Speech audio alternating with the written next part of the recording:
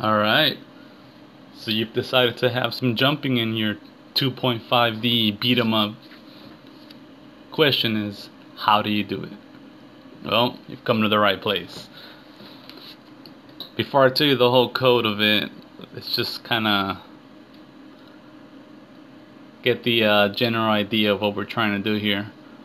So with GameMaker, uh, it's it's it's a it's an engine for for 2D games for the most part and uh, as such with 2D you only get two axes to work with. You get your x-axis and your y-axis that's why they call it a 2D if you were using like Unity 3D stuff or some some other 3D program you get three axes. You get your x you get your y you get your z 3D but for our case since we don't have three axes to work with we kind of have to create our own little pseudo wannabe z-axis and we're gonna share the y-axis. So the y-axis is gonna serve two purposes. It's gonna serve both the how, how deep into the screen you are, which is the y-axis, and then how far off the ground you are, which is the z-axis. And we're gonna use the y-axis to share both of those, which is why they call it 2.5 and not 3D, because it's kind of like a fake wannabe 3D. So right here I'm kind of spending a little bit more time than, than I would want to, than I should drawing these little guys, but anyways. So to um, achieve this effect in GameMaker, we're gonna need to keep track of certain things. Number one, Z-floor. We're gonna need to keep track of where our ground is, what we're standing on. We're gonna need to keep track of the Z we're going to need to keep track of how high off the ground we are. So that's what the z-axis is in this in this game in this example. Z is how far off the ground you are. And the Z airspeed just kind of determines how quickly you're moving up and how quickly you're moving down in the air.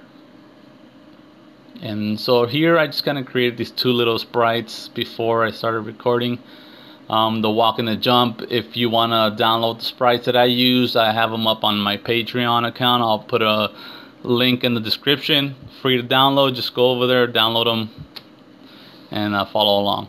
All right, object. It's very simple. To create an object under the create event, just like we said in the example, you create these three variables: the z, z airspeed, and z floor, and just set all of them to zero for now. Another one you're gonna need is gravity. So grav.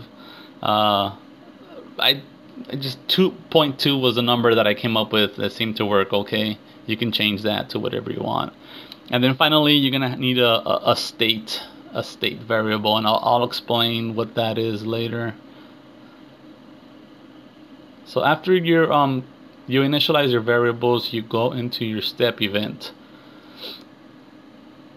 and here I'm just kind of quickly setting up uh, a quick little like uh, just space bar to jump. That's what this is. And here I'm using a switch statement. If you don't know what a switch statement is don't worry about it. I'll explain that uh, in another video. But just for now know that um, a, a switch statement is kind of like a shorthand for an if then statement so in a switch statement, you're only performing the actions in one of these cases. You're not doing all of them. You're only doing one at a time. So we're starting off as an idle. Our, our, our, our beginning position is idle. And here I'm just writing, if you hit the jump button, we're going to add a, a, speed of 4 and we're going to change our state from being idle to, to being in the jumping position. So now that we've changed our state, we're no longer going to perform the, the uh, actions that we wrote for the idle case. Those are going to be ignored. Now we're only going to run the, the uh, actions that we're writing under the jump case. So here we're pretty much just saying if uh, you're in the air, if you're above the ground, we're going to apply gravity to you. So that's what you're seeing here. If z is less than the floor, less, uh, I'll explain to you what that means. We're going to apply gravity to you, and that's going to bring you down to the ground. Now the reason we're using negatives is because uh, I guess GameMaker for some reason decided that um, negative, like if you if you want to move upwards, you have to go negative on the y-axis, and if you want to move down the screen, you have to go positive on the y-axis. So that's why we're using negative numbers to move you up and positive numbers to move you back down.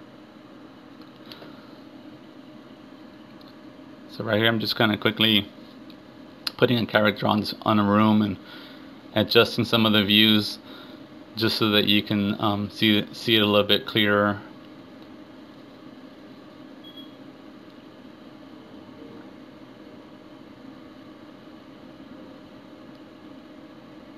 Now also um you also saw the uh, the code that said um, if z is greater than or equal to the z floor.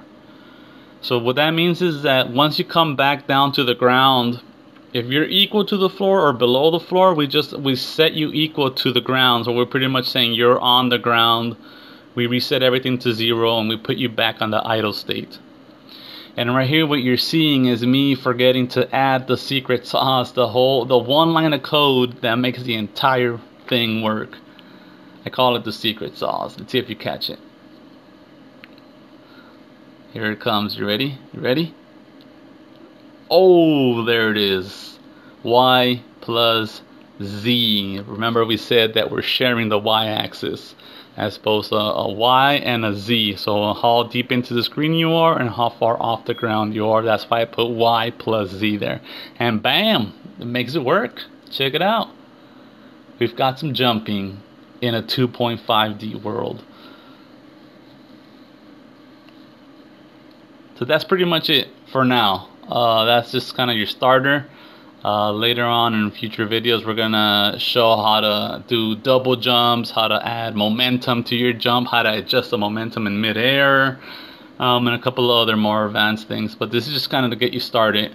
If you want to download the project file that I, the the Game Maker file, or any of the sprites that I used in this uh, demo, you can just go to um, go to uh, my Patreon account. I'll have a link at the bottom, and everything is there free to download. All right. All right, till next time. Bye.